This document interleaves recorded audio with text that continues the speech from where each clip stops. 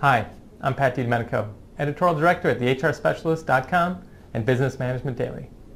You know, the Affordable Care Act is ushering in the largest changes to benefits administration in a generation, and it's your job to understand those options and to make the right decisions for your organization.